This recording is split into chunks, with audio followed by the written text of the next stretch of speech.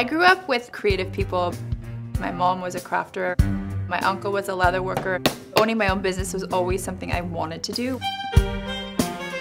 Three Bird Nest really is known for amazing quality bohemian accessories and clothing.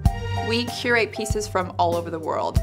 My husband, our children, and I work together as a team. Right here, 70. My favorite part of working here is receiving the orders and putting it in the bin.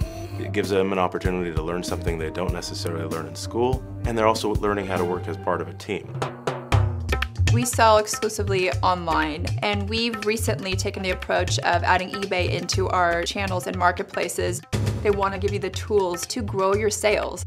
And that's what we want as a business. We're getting in front of millions of customers that have never heard from us otherwise.